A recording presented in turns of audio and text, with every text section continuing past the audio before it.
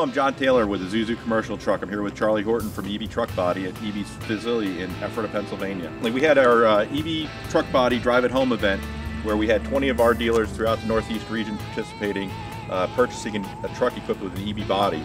Yeah, it was a terrific event. We had four different truck bodies available uh, that dealers drove away. We had a dump body, a uh, landscaping body, a van body, and a platform body, and the acceptance was fantastic. All of the dealers are really pleased with what they got.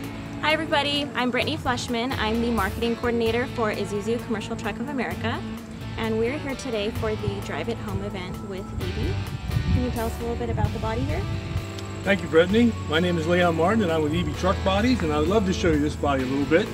This body is the Eby Flex body, and we call it Flex because it's got the flexibility of being a dump body with sides on it, or you can lift these sides off, and you have a flatbed to haul palletized loads. So you got a lot of flexibility with one truck. Yeah, the dealers really enjoyed today's event. All told, uh, we had a nice reception last night, and then today we went on a plant tour and really got to showcase Eby's manufacturing facility here in Ephrata, as well as the uh, investment they made in automation